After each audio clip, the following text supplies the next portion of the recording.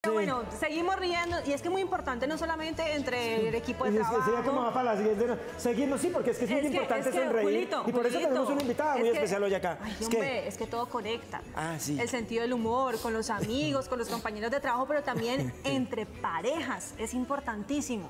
Por eso hoy nos está acompañando la doctora Ingrid Gómez. Bienvenida, Doc, a nuestro programa. Gracias. Para hablar de las, relaciones, de las relaciones de pareja y el sentido del humor, de las bromas, cuando son buenas, cuando no tanto. Me encanta el tema, parece súper chévere y muy acorde para el día de hoy. Yo les quiero primero contar que en la época de la monarquía, ¿quién era el único que tenía el poder de burlarse de- del rey sin ser decapitado? El bufón. El bufón, sí señora, el bufón. era pieza importante, personaje importante en las obras de Shakespeare. Totalmente el personaje importante que se le permitían y de hecho necesario, porque en esa época de guerras, en donde no habían tantas necesidades cubiertas, pues había que reír. Y entonces estos personajes salían, hacían sus chistes, hacían sus cosas y, y daban eso que necesitamos tanto, que es la risa, porque es que la risa es poderosa. Cuando nosotros reímos, nos distensionamos, nos relajamos, mejora nuestro estado de ánimo. Eh, incluso utilizamos el humor en momentos sarcásticos, Sí. cuando estamos pasando por una situación difícil o incluso hay quienes usan el humor como un mecanismo de defensa para reírse de sus propios defectos, ¿no? Eligen no sufrir, sino más bien reírse. O ante una situación tensa también es una manera de romper el hielo. por Claro, hay, hay personas que hacen comentarios como, no, como a mí me echaron, juá, juá, juá, juá, o eh, como a mí me terminaron dejando por no sé qué, y lo, y lo dicen con broma, con risa, o como uno ya está viejito y gordito, no sé. Digamos que, que la gente puede aprender cómo, cómo a reír de esa manera. Entonces, entremos con, con esa importancia en que hoy por hoy honramos como eso que es reír, permitirnos ciertas bromas, permitirnos darnos chistes en la vida. Bromas, pero, pero como las que estamos viendo. Es que hay unas que uno encuentra en YouTube que, que son, son muy pesadas, Ingrid. ¿No? No, hay bromas muy pesadas. A ver.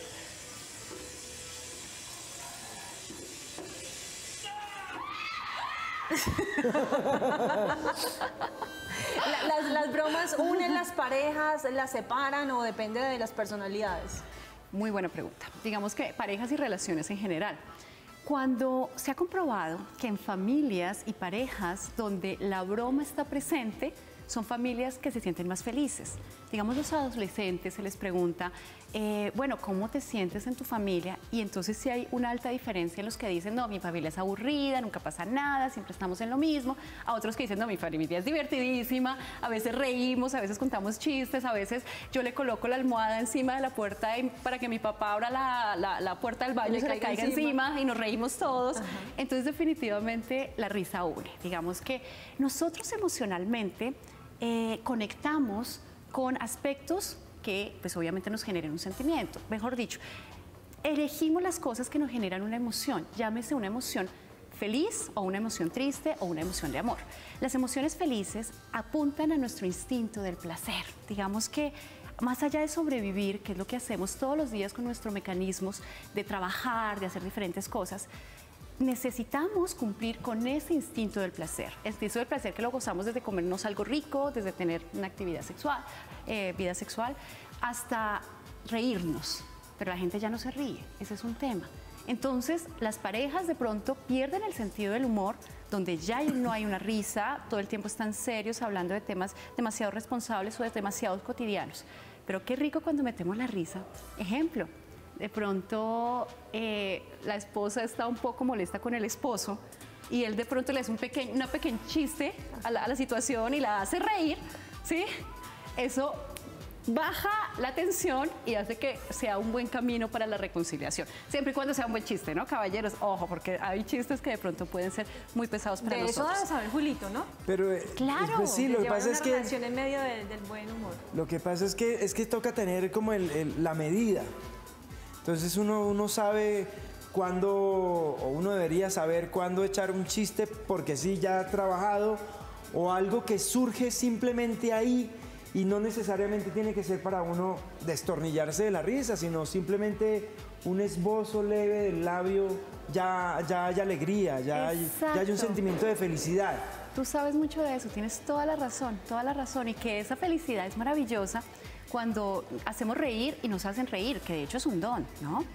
Todos tenemos un amiguito bufón, eh, seguro. Sí, que llega a la fiesta y nos Cerca, encanta cerca. que llega porque hace sus chistes, hace sus cosas y cuando no va lo extrañamos. Mucho. Todos Como, tenemos como el man que, Julio. como el de la guitarra. ¿Cuál es el de la No, pues el amigo de la guitarra. Entonces también o sea, va el amigo de la guitarra y el payasito. Entonces hay que invitar a los dos. Si no, la fiesta no- eso no No funciona. es lo mismo. Las personas divertidas son muy magnéticas. El, el humor es magnético. Cuando estamos en un buen sentido del humor, pues atraemos más eh, a nuestra pareja, ¿sí? amigos como que nos invitan más o como que la, la gente quiere estar más con nosotros e incluso en- en situaciones de trabajo, porque a veces el trabajo es tan responsable, tenemos que trabajar tanto, pero hacer reír hace que como que rompe eso. Eh, Se necesita magia. Entonces, perdón, porque es que Claro que sí. hay muchos eh, comediantes, mucha, mucha gente que hace stand-up comedy, por ejemplo, que uno los ve y si ustedes les ponen esa, esa, ese mismo texto a otra persona, no, no tienen esa magia. Hay unos que simplemente se paran y ya uno se ríe. Sí. Porque tienen como, es un, es un timbrecito, un tonito, una sí, cosa. sin hacer mucho, Que sin hace, el man, el man finalmente dice, y entonces yo saqué la hoja y me comí el papel.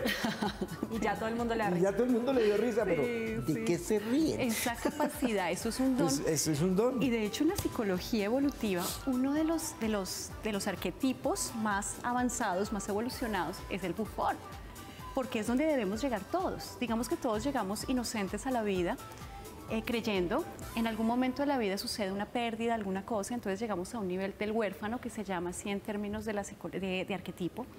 Después el huérfano se queda, ay, pobrecito, ay de mí, qué cosa terrible. Eh, pero después saca su guerrero interior, entonces es es el momento que se vuelve fuerte en la vida. Después de eso, trabaja el amante, el que ama, no el amante de, de la pareja, el romántico, sino el que ama la vida, se ama a sí mismo. Posterior a eso desarrolla el sabio y después de que desarrolló todos, llega el bufón. No tiene que ser en orden, ¿sí? simplemente es una analogía. Entonces, cuando logramos ese don que estás diciendo, es una maravilla en que nos podemos reír. Reír de estar vivos, de ir de los problemas, reír de las situaciones positivas, reír de cualquier simple momento que nos saca y nos pone como en otro tono que definitivamente nuestro cuerpo, nuestras emociones, nuestro ambiente en general mejora gracias a la risa. Y Por eso, además que no hay, entonces- Mona, que además que no hay una, una regla para hacer reír. La única regla es estar ahí. No hay que ser rápido, porque por ejemplo hay, hay un payaso famosísimo, eh, vino acá una vez con un espectáculo que se llamaba Yellow, y si mal no estoy, ahora está, sigue en el Circo del Sol en, en Orlando. Y es un clown que todo lo hace en cámara lenta. Ay, no, es que es- Son estilos. En cámara Increíble, lenta. increíble, Entonces, sí. no hay nada escrito para hacer reír. No, y que hay que tener, que es muy importante también que, que- que- que- que debemos mencionar, y es el sentido del humor, porque es que puede estar el mejor payaso del mundo o tener la oportunidad de, estoy cambiando mi programa de televisión y prefiero ver de pronto algo dramático en vez de ver al comediante. Entonces también, ¿qué elegimos ver? Porque si estamos bajos del sentido del humor, nos va a molestar las bromas que nos hacen, las- los chistes que hacen, nos va a parecer, ay, qué, qué aburrido, qué ridículo, qué jartera. O si alguien te hace una broma, le hace una broma, que irrespeto, a mí no me falten al respeto. Sí. O lo otro es que, eh, digamos que hay ciertas bromas que hay personas que lo toman súper bien, no tienen ningún problema, pero otras personas se ofenden demasiado. Aunque, aunque hay personas, Ingrid, que hay algo bien curioso que pasa y es que con algunas personas que tienen muy buen sentido del, del humor o que son buenos para hacer bromas, para molestar a los demás, no les gusta que los molesten a ellos. A veces el, eh, bueno, no es en todos los casos, pero hay una analogía del payaso, ¿no? El payaso se ve eh, aparentemente maquillado con una sonrisa, pero detrás del payaso se dice que hay un hombre triste. Entonces muchas veces la persona que hace reír demasiado es como la máscara que en cierta manera muestra que, que soy fuerte, pero como poniendo la, La la- barrera. la barrera, sí, en cierta manera para evitar precisamente esas cosas. No le pasa a todo el mundo, ¿no? Claro. Solo No, o, algunas o- personas o qué que me dicen aquel personaje harto, yo, cuando voy a cine, cuando voy a ver películas de acción o de terror, yo, miren, me río. Y entonces, claro, el que está al lado y este man de que se ríe. Digo, pero es que a mí me parece divertidísimo las películas de acción con esos peñones y esas mentiras, esas vainas que salen. Me encanta ir a verlas. Sí, y lo que tú dices es cierto porque es que el bufón no es solo el que hace reír, sino que el que se permite reír. Yo decía algo ahorita del instinto del placer, lo importante, y es que siempre esperamos que sean otros los que lo hagan, pero es una elección de reír, de, de pronto dejar de ser un poco gruñones y amargados, ¿sí? O de ofendernos por tanto y permitirnos reírnos más de la vida, reírnos más de las situaciones que de verdad es demasiado saludable y trae muchísimos beneficios para la vida. Eh, también mirar, ¿no? Si en algún momento me molesta una broma, pues seguramente hay un botoncito emocional que hay que revisar. De pronto la otra persona me hace la broma sin intención, pero si a mí me parece terrible es que de pronto tengo un tema ahí con mi autoestima o de pronto no me gusta que me hablen esto, de pronto me recordó una broma, un bullying que me hacían en la infancia y entonces me dolió. Entonces vale la pena revisar esas decías, cosas. Decías un momento ahorita que se ha perdido el humor en las parejas. Sí. ¿Por qué? ¿Por qué pasa eso? La monotonía, el tiempo, los años de relación, ¿qué podría ser? Eh, hay algo que dice que la variedad está el placer. ¿Sí? Y desafortunadamente, cuando van pasando los años, como que no hay cosas nuevas, entonces siempre termina siendo lo mismo y se empieza a carecer de creatividad. También se empieza a llegar a la inercia, la inercia que es como un estado en cierta manera eh, monótono y perezoso y que no nos esforzamos un poquito en romper la inercia y tener pues diferentes cosas proponer, hacer cosas diferentes, pues para romperla y, poder traer como ese cambio positivo a la relación. ¿Qué debemos hacer? Hacer chistes. Y si no podemos hacer chistes porque de pronto no nos sale, no tenemos como ese don, pues vámonos a un stand-up comedy. O sea, miramos, en Bogotá siempre hay. O escuchemos, Vamos ahí está la canción de J Balvin de fondo de nos peleamos, nos arreglamos, Nos pero ahí vamos. Bueno, el, el- vamos. el ahí vamos es A, A H I, Es no el espérese, quiso espérese, espérese, porque es que no es ahí. Ese, ese ahí, ahí, como usted lo está describiendo, es ahí. Y él no dice ahí vamos. El ahí que dice, pues tampoco existe, porque la A y la Vamos por eso, no existe. vamos por eso, eso es lo que digo. Es que él dice, pero bueno, no estamos No, hablando de la A- A canción. sola es que él la habla de ay, no. como la, la- la expresión, la de ay, el dolor, eso, ay. ay, como Pero de- es, ah, en realidad sería ahí vamos. ¿Por qué? Porque nos peleamos, nos arreglamos, nos seguimos Oh, sí. amando, nos mantenemos, ahí estamos. La cosa es también que todos tenemos diferentes maneras de hacer reír y diferentes maneras de poder reírnos. Y no por eso tenemos que juzgar la manera del otro reírse, porque hay uno que le puede gustar, no sé, el cuentachistes de Sábados Felices y hay otro que le gusta el Lelutier. Ajá. Son diferentes maneras y los dos estamos buscando diferentes maneras de sonreír, de estar alegres.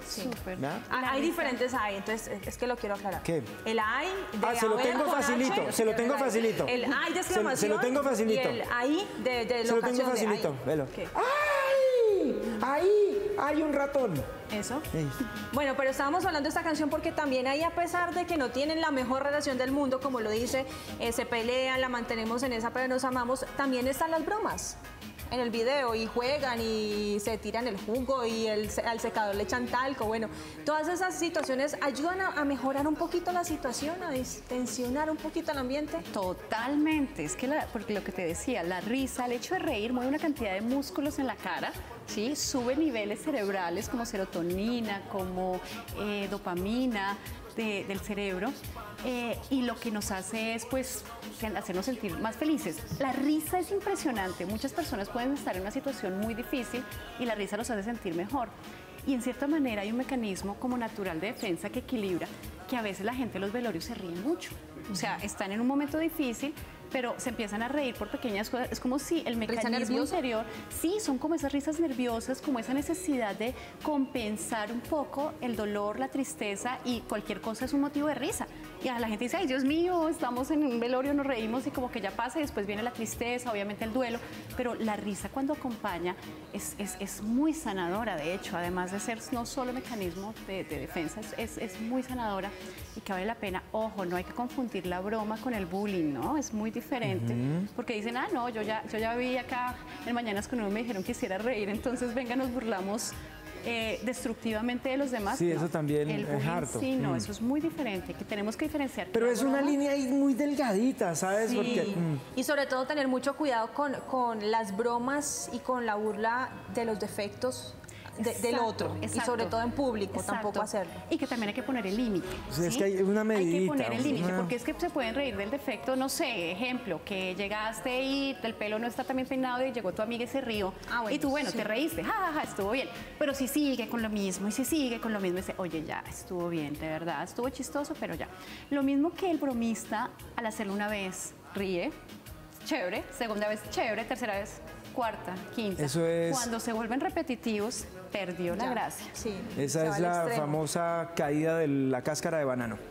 A la primera nos reímos, a la segunda y nos volvemos a reír, pero ya después se vuelve un drama. Sí. Ingrid, muchísimas gracias Ay, por habernos ustedes. acompañado. Feliz Hoy de estar acá. 28, haber sacado tiempo y estar con nosotros. Claro que sí, por favor, todos una bromita sana, hagámonos reír, dejémonos como esa tareita para el día de hoy. ¿Y, dónde te atenta, podemos hacer atenta que no bromitas? te hagan inocentadas. ¿Dónde, o dónde, dónde no te deben hacer bromitas? Es decir, tus redes sociales, ¿dónde te podemos encontrar? Bueno, www.prosperlove.com o Prosperlove en Google, ahí digamos sale mi información.